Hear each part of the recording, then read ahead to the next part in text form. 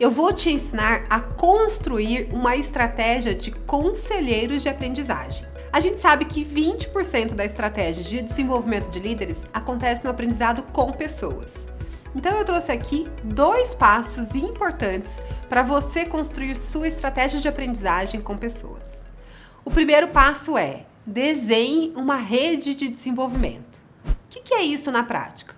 Essa rede é uma curadoria de pessoas que se importam, que cuidam e colaboram com o desenvolvimento profissional e pessoal de alguém. Essa rede ajuda o líder ou a líder a atingir seus objetivos estratégicos e também seus objetivos de aprendizagem.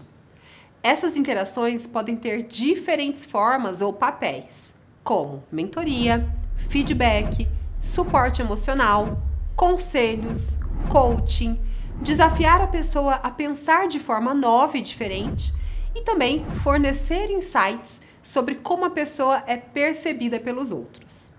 Você vai desenhar a sua rede considerando cada um dos papéis que eu mencionei, com clareza da definição de cada papel, o que você precisa perguntar para a pessoa que estiver te ajudando nesse papel e os benefícios disso. Eu vou te dar dois exemplos da lista. O primeiro deles é o suporte emocional.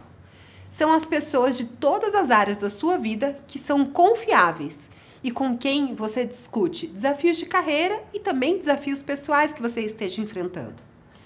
Que abordagem que você vai usar, o que você vai perguntar para essas pessoas ou como você vai abordá-las mesmo. Você vai trazer coisas como: olha, você não sabe o que aconteceu e vai compartilhar uma situação. Ou eu estou muito preocupada com essa situação. Você, ou seja, ali é o momento em que, por ser uma pessoa confiável, você vai abrir o coração, vai trazer realmente o que está preocupando a sua agenda. Os benefícios de ter uma pessoa nesse papel são aliviar o seu estresse e ansiedade, te dar encorajamento. Essa pessoa é uma ajuda com uma perspectiva externa à situação ela vai ver coisas que você, por estar muito envolvido, não está percebendo. E ela ainda aumenta a sua confiança para tomar uma decisão. O segundo papel que eu trouxe aqui são pessoas que fornecem insights sobre como você é percebido. Eu, particularmente, gosto muito disso aqui.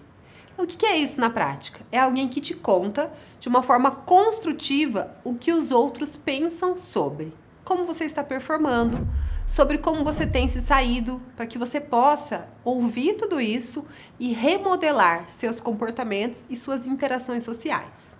Que tipo de abordagem você terá com uma pessoa nesse papel? Vai fazer perguntas como: o que os clientes querem de mim? Ou como está minha reputação por aqui?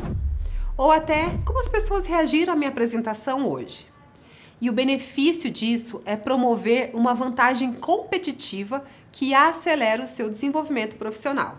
O segundo passo é você criar, então, o quadro de conselheiros. Aqui é simples e você vai fazer o seguinte: você vai listar cinco nomes de pessoas que poderiam ocupar cada um desses papéis e ao lado de cada nome você vai colocar duas questões específicas que você quer fazer para cada um.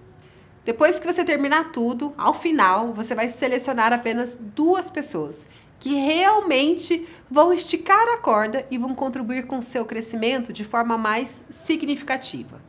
Você vai perceber que essa simples ação de anotar as perguntas já vai te gerar muitos insights importantes sobre coisas que até então você não tinha enquadrado ou pensado sobre elas.